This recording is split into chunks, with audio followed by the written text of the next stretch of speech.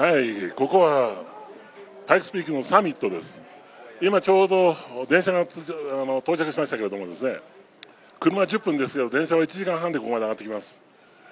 ものすごい雪なんで本当に外は大変です。しかし中は非常に、えー気持ちよくエアコンも効いてまして、コンディションは最高です。ここで低気圧に体を慣らしてゆっくりドーナツを食べてホットドッグを食べてチリを食べてアメリカを楽しんでそして体を慣らすと。これが例年の僕のカリキュラムです、えーだんだん低気圧に空気が慣れ体が慣れてきました。少し楽になったような気がします。パイクスピークのサミットからでした。